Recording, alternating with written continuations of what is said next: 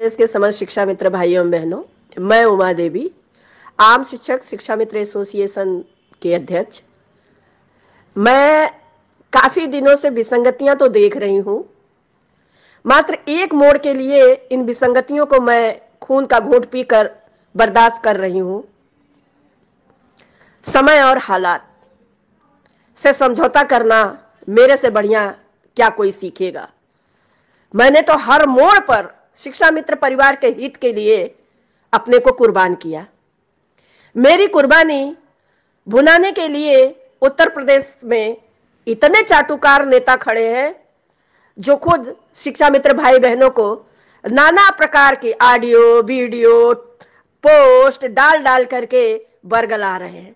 हकीकत कड़वी सच्चाई जो है, उसको बया करने में जितने चाटुकार नेता हैं, सभी को शर्म आ रही है। अरे खुल के बोलो ना कि बहनों का त्याग आज रंग ला रहा है। बहनों का समर्पण आज सभी के जीवन की नैया बन रही है। बहनों का योगदान आज सभी को रोटी देने जा रहा है और बहनों का त्याग और तपस्या आज सभी को सम्मान दिलाने जा रहा है। तुम्हारी नेतागिरी हकीकत में बंद होगी। इसमें दो राय नहीं, क्योंकि उमा देवी लोहे के तरह तपी है और सोने के तरह चमकी है। सुन लेना ध्यान से। तुम्हारे धूमिल करने से, तुम्हारे पीठ पीछे शिकायत करने से, तुम्हारे फर्जी कमेंट लिखने से और तुम्हारे बड़बोलेपन से उमा देवी की छवि को धूमिल नहीं कर पाओगे। उमा देवी ने जो त्याग किया है, वो ईश्वर साक्षी है। मेरे इको गार्डन में जितने भी आए, पूरे उत्तर प्रदेश के भाई बहन ध्यान से सुनिएगा आप लोग। जितने भी आए, सब खेले अलग अलग रंग से। सबका एक अलग रंग रहा। फिर भी मैंने सभी को समेटा। समेटने के पश्चात, जहाँ विसंगतियाँ रही, मैंने कड़ा डिसीज़न लिया। जहाँ परिस्थितियाँ रही, वहाँ मैंने उनको समझाने की कोशिश की। लेकिन जब अपने खेल में वो पास नहीं हुए तो वो वहाँ से नौ दो ग्यारह हुए। अब जिन लोगों ने नौ दो ग्यारह कर लिया अपने आप को, आने के लिए वो बेताब है। लेकिन वो आए किस मुँह से? क्या मेरे सामने कहेंगे?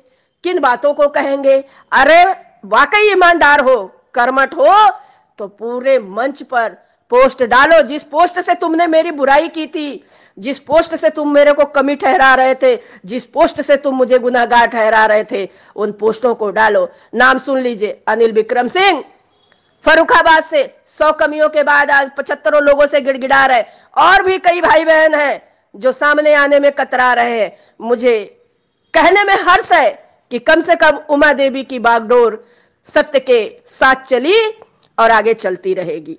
कुछ चाटुकार हैं जो तरह के तरह के रंग बदल रहे हैं।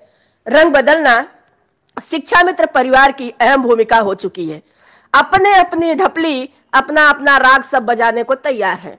लेकिन मेरा उद्देश्य है हाई पावर कमेटी जबकि शिक्षा मंत्री जी स्वतः बयान दिए। उस बयान को इग्नोर कर रहे हैं सारे के सारे चाटुकार। उन्हें शर्म आ रही है हाई पावर कमेटी का नाम लेने में, क्योंकि high power committee Uma Devi के सम्मान में बनी। और जितने वहाँ आए, सब चार दिन में गायब हो गए, कोई वहाँ रुका नहीं। उमा देवी अकेले तपती रही। और जो दो चार कर्मठ भाई बहन थे, वो सुबह आवे, चार बजे तक रहे और गायब हो जाए। कोई वहाँ समय अगर पूर्ण रूप से दिया हो तो उस पिपलेश्वर महादेव को सौगंध खा करके कह दे कि हाँ उसने बारह महीना रात और दिन इको गार्डन में काटा हो।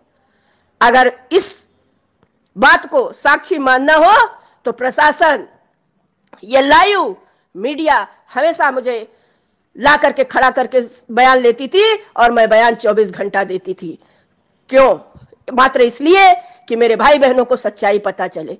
और रही बात बात समझने, ना समझने की। प्रशासनिक तौर पर मैं एक बात बहुत कड़वे भाव में कहूँगी कि किसी नेता की सुनवाई नहीं है। ध्यान से आम शिक्षा मित्र सुन ले। किसी भी नेता के बहकावे में आम शिक्षा मित्र भाई बहन ना आवे, जो आएगा सामने कड़वा सच उसको स्वीकार करिएगा। इसलिए कह रही हूँ कि कुछ भाई बहनों के प्रश्न मेरे पास आते हैं कि दीदी, ये हो रहा है, वो हो रहा है। जी नहीं, अभी किसी ने आँखों से नहीं देखा है कि क्या हो रहा है। और सत्यता सुन लीजिए। मेरा एक लाइन का आप लोगों से आग्रह है कि जो मिल रहा है, वो आप लोग अभी खुशी खुशी लीजिए। जितने दिन नौकरी रहेगी, सत्ता में जो भी पार्टी बैठेगी, मांगने का काम उमा देवी करेगी। और शासन से हक है हमारा कि जो भी सरकारी कर्मचारी है, जो भी सत्ता में बैठती है सरकार, उससे माँगता है। और रही बात विषम परिस्थितियों की तो सबके चेहरे मैंने देखे। विषम परिस्थितियों में कोई माई का लाल नहीं था जो अगवानी करके खड़ा हो जाए। और कोई कह तो दे बोला कि उसको परमिशन मिली थी धरना लगाने की। हाँ हमें परमिशन मिली थी राजीव किशन भाई के पैड पर। गुजरात से, और मैंने लगाया धरना। पहला धरना मैंने लगाया लक्ष्मण मेला मैदान। और बाकी तो फिर बाद में सबने अपनी ढपली बजाना शुरू की। विचार करिए, उमा देवी के पास जो कोई आया चार दिन रहा, उसने अपने अपने कारगुजारी अपने अपने तरीके से की और अपने अपने घर को चलता बना। पूरे साल कौन रहा? किसकी सेवा निलंबित की गई? किसको सजा दी गई जिसको आज तक एक रुपया नहीं सरकार ने दिया? विचार करिए जरा सा। वह केवल इकलौती उमा देवी थी। उमा देवी उस दंश को आज भी पी रही है। मात्र इसलिए कि शिक्षा मित्र हित में सारे काम हो जाए। और सुन लीजिए, मैंने जब निःशुल्क धरना चलाया, मेरे पीठ पीछे लोगों ने खूब लूटे। मुझे बाद में पता चला। काफ़ी कुछ भाई बहनों ने बताया मुझे। मैंने कहा, जब मैंने मना किया था तो आपने क्यों दिया? और आ जाइए कड़वी सच्चाई। जब कुछ भाई बहनों ने कहा, कोर्ट के मामले में उमा देवी ने कैसे क्या किया है? अरे, पढ़े लिखे हो? मैं संगठन का पेपर दे रही हूँ, तुम एनजीओ बता रहे हो। मैं नियम पूर्वक चल रही हूँ, तुम्हारे पास खुद की अकल नहीं है, अपने अकल को बढ़ाओ। अगर अकल नहीं है तो शांति से रहना सीखो। रही बात, जहाँ नियम होता है, वहाँ किसी के मुँह की नहीं चलती है। किसी का चेहरा नहीं देखा जाता है। किसी को वहाँ पे चेहरा मोहरा नहीं बनाया जाता है।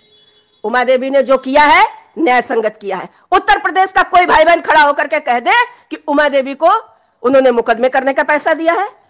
उन्होंने वकील खड़ा करने का पैसा दिया है। आपने जो दिया, उनमें से ध्यान से सुनिए।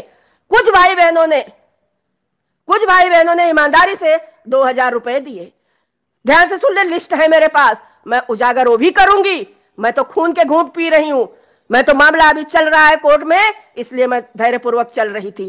कुछ भाई बहनों ने पाँच सौ रुपए दिए, कुछ ने हज़ार रुपया दिया, कुछ ने कुछ ने का मतलब समझिए, नहीं नहीं, मैं साढ़े तीन हज़ार लोग, वो मैंने निःशुल्क याची बनाया। और सुनिए सच्चाई, आज खून के घूट पी करके ही मैं बोल रही हूँ इस चीज़ को सुनते सुनते मेरे भी कान पक गए। जो मुझे चेक दे करके गए, उनकी चेके बाउंस हो गई। कुछ जो मुझे आए सामना करने उन्होंने हाथ पर जोड़ लिया कि बहन जी, मैं असहाय हूँ। फिर भी मैंने सभी का अपना समझ करके उनकी परिस्थितियों से मैंने काम को आगे बढ़ाया। और मैं धन्यवाद दूँगी उन वकीलों को जिन्होंने मेरे हाथ जोड़ने पर शिक्षा मित्र परिवार के लिए हित में खड़े हो गए। उन्होंने अपनी जो फ़ीस थी, उसको भी कुछ समय के लिए रोक लिया। और बाद में मैंने अनुनय किया कि मैं आप तक पहुंचाऊँगी ज़रूर। वो तैयार हो गए। और सुनिए कड़वी सच्चाई जो लोग भौंक रहे ये गलत हुआ है, वो गलत हुआ है। अरे, एक दिन अब तुम्हारा अपना खुद का घर चला के देखो यारो। अपने आप समझ में आ जाएगा कि उमा देवी ने एक साल कैसे परिवार चलाया। कितने कड़वे सच्चाइयों को उमा देवी ने जहर को पी लिया। कितने नालायकी कर्मों को उमा देवी ने माँ के समान अपना हित समझ करके, परिवार का हित समझ करके उसको शांतिपूर्वक चला दिया। और सुनो, ज़्यादा जब उड़ रहे हो तुम लोग तो एक लाइन की बात। लाख कोशिश कर लो, जब तक उमा देवी नहीं खड़ी होगी, तुम्हें सम्मान किसी कीमत पर नहीं मिलेगा। क्योंकि मैंने पहला छुरा जो चलता है सर पे, सहर स्वीकार किया। बाद में काफ़ी ढोंग रचते गए लोग। ढोंग अपना अपना बंद करो अपने अपने घर को शांति से रहो। सम्मान मिलने दो, उसके बाद नेतागिरी तुम अपने घर से शुरू करना, अपने पैसे से शुरू करना, क्योंकि उमा देवी अपने पैसे से नेतागिरी नहीं की थी, सम्मान बचाने के हित में उतरी है बीस साल से। और सुनो, अगर उमा देवी को नेता बनना होता तो ना गाजी इमाम आला नेता बनता। सुनो ध्यान से, न जितेंद्र शाही नेता बनता, न जितने चाटुकार बाद में हुए वो नेता बनते, और जितने आज भोक रहे वो भी नेता नहीं बनते। उमा देवी ने हमेशा शिक्षा मित्र हित में उतर कर काम किया है। उमा देवी के कर्मों पर अगर कोई यकीन ना करे तो सुन लो, तुम्हें शायद परमात्मा भी कभी माफ़ नहीं करेंगे। क्योंकि मैंने इतना खून का घूट पिया है, सबके वार। अरे तुम हित में उतर रहे हो। तुम अपने स्वार्थ को बताओ ना कि तुम्हारा स्वार्थ कहाँ छिपा है। क्या तुम अपने स्वार्थ को उजागर कर रहे हो? अगर नहीं उजागर करते हो तो मैं जैसे अन्य नेताओं के स्वार्थ को उजागर की हूँ और करते देर नहीं लगाऊँगी। अब आइए सुनिए एक और कड़वी सच्चाई, जिस लोगों की माननीय माननीय कहकर के उपाधि दी जा रही है। उन माननीयों की बात सुनिए। यही सत्यम दुबे। दिसंबर महीने में ये आया लड़का। इसको मैंने सम्मान एक बेटे के तरह दिया। इसने वहाँ की गतिविधियों पे कहीं मीडिया से लड़ जाए, कहीं आम शिक्षा मित्र भाई बहनों से लड़ जाए और कहीं ढेरों विसंगतियाँ पाल ले। और सुनिए, इसने मेरे खिलाफ मुख्यमंत्री जी के पोर्टल पे जाँच डलवाई। जांचें हुई चार महीना और मैं क्लीन चिट हुई। मुझे पूर्ण रूप से सारे कागजात, सारे जितने भी अवशेष थे मैंने दिखाए, शासन ने मुझे बरी किया। आप विचार करिए कि क्या ये लोग कितनी सत्यता के साथ मेरे साथ चल सकते हैं या शिक्षा मित्र हित में उतर कर चल सकते हैं? दूसरा प्रमोद मणि को ले लीजिए। प्रमोद मणि ना बाल घुटवाया है, ना जनेऊ का त्याग किया है। मैं किस हिसाब से इन लोगों को आगे बढ़ाऊं? आप विचार करिए, जो अपने खुद झूठ बोलने को छिपा करके दूसरे को झूठा बता रहा है ये तकलीफ़ की बात है। हाई पावर कमेटी में उमा देवी की देन थी हाई पावर कमेटी तक लेकर सबको पहुँची।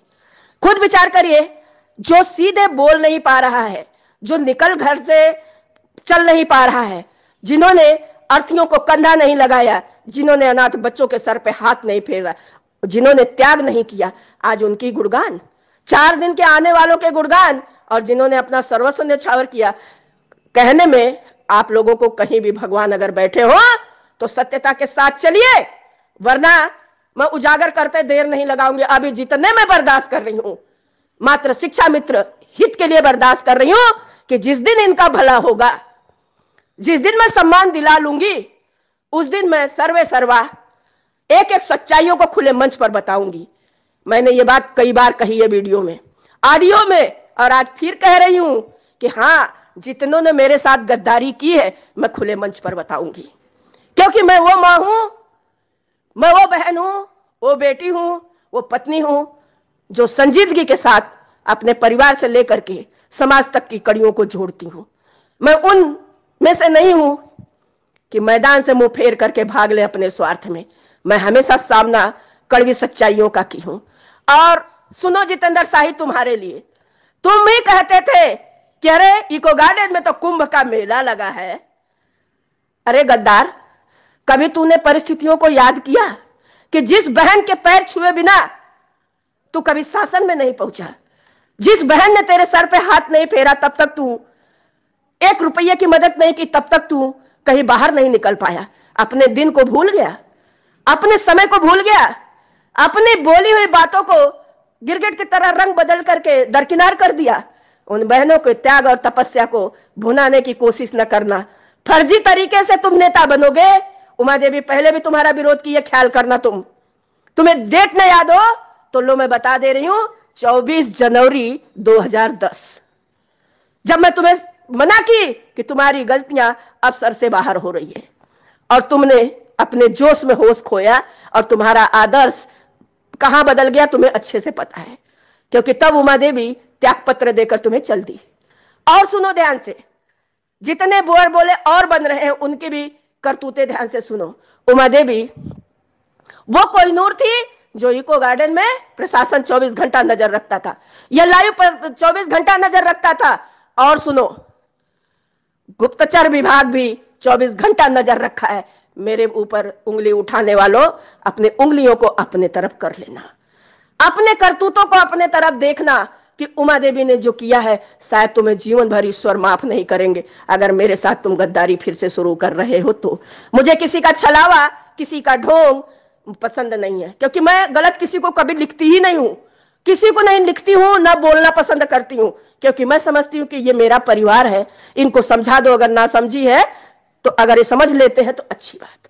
और नहीं समझते हैं तो इनका कर्म इनके साथ जाएगा। मेरा क्या ले जाओगे?